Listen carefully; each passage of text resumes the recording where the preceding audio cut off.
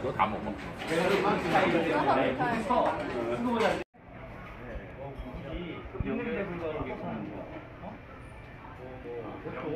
청년학교 사는데 나무 큰 거. 아, 20년 돼.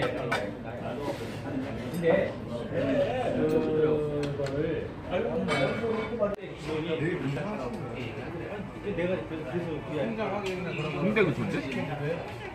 분명은 너무 못하지 않고 가지 않구나. 그래도 돈을 어 이게 장난이야. 장난 안 들었어. 지금 돈을 누가 알았다? 그래가지고 그 친척들이 우리 집안에 나 앞에 네, 만원 후다이는 풀려 때리고 가면 돼. 얘가 불 불어도 또 나하고 누나하고 생각하는 게뭐 친척이 있는 거야. 아 이것도 넣어야 돼.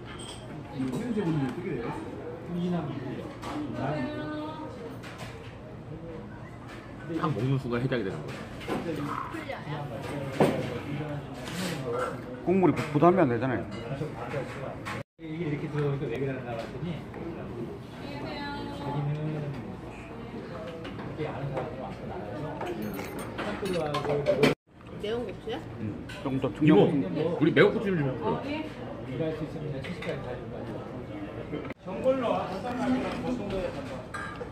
여기는 서, 서울은 거의 이제 집을 빌려주는 개념이네요. 응.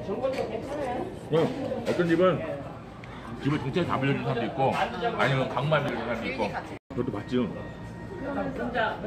한국은 집이 정말 그림 같아